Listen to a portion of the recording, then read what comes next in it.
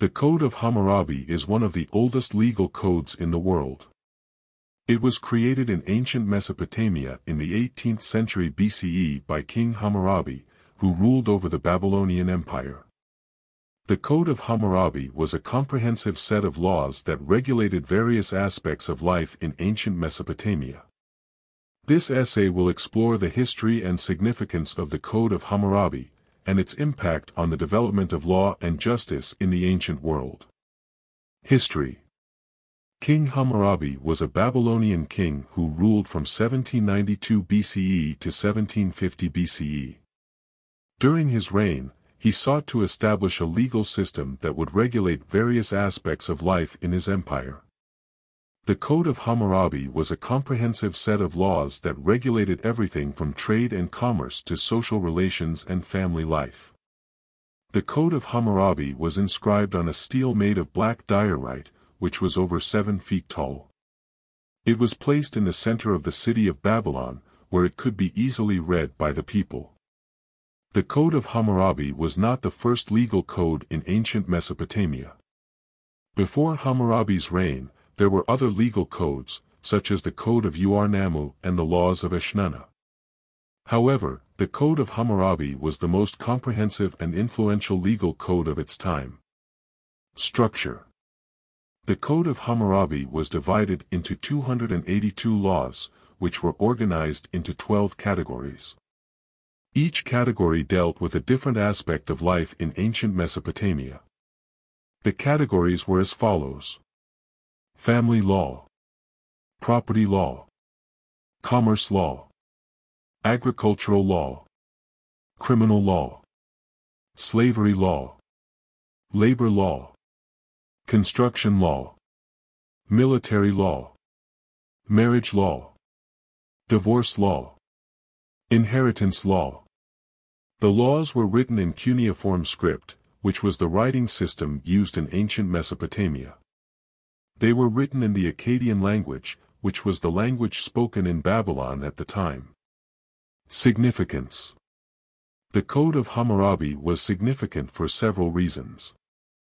Firstly, it was one of the earliest attempts to create a comprehensive legal system that regulated various aspects of life in a society. The Code of Hammurabi was a landmark achievement in the development of law and justice in the ancient world. Secondly, the Code of Hammurabi was significant because it established a set of punishments for crimes that were proportional to the severity of the crime. This was a significant departure from earlier legal codes, which often prescribed harsh punishments for minor offenses. The Code of Hammurabi established a principle of proportionality in punishment, which is still a fundamental principle of modern legal systems. Thirdly, the Code of Hammurabi was significant because it established a principle of presumption of innocence. Under the Code of Hammurabi, a person accused of a crime was presumed innocent until proven guilty. This was a significant departure from earlier legal systems, which often presumed guilt. Fourthly, the Code of Hammurabi was significant because it established a principle of equality before the law. Under the Code of Hammurabi, all people, regardless of their social status, were subject to the same laws and punishments. This was a significant departure from earlier legal systems, which often granted privileges to the ruling class. Fifthly, the Code of Hammurabi was significant because it regulated various aspects of life in ancient Mesopotamia, including trade, commerce, and family relations. The Code of Hammurabi established a set of rules that governed social and economic relations in ancient Mesopotamia. The Code of Hammurabi was a comprehensive legal system that regulated various aspects of life in ancient Mesopotamia, including social and economic relations. The Code of Hammurabi established a set of rules that governed trade, commerce, property, and family relations, among other things. One of the most significant aspects of the Code of Hammurabi was its regulation of trade and commerce. The Code of Hammurabi established rules for commercial transactions, including the sale of goods and the use of credit.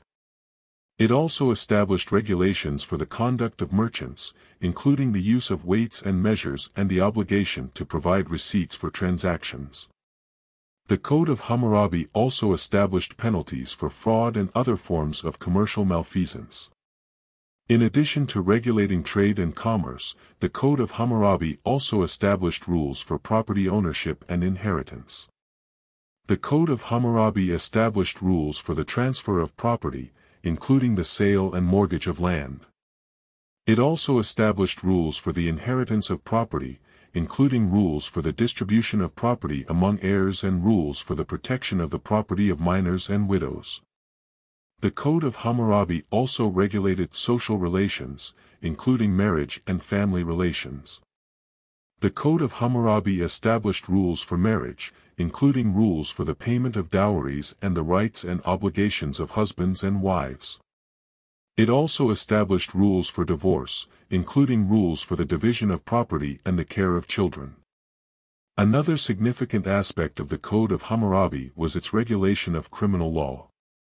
The Code of Hammurabi established punishments for crimes that were proportional to the severity of the crime. For example, theft was punishable by repayment of the stolen property, while murder was punishable by death. The Code of Hammurabi also established rules for the treatment of slaves and prisoners, including rules for their care and protection.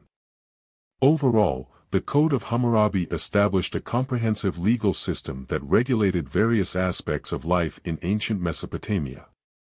The Code of Hammurabi established a set of rules that govern social and economic relations, property ownership and inheritance, marriage and family relations, and criminal law. The Code of Hammurabi was a landmark achievement in the development of law and justice in the ancient world, and its principles continue to influence modern legal systems today.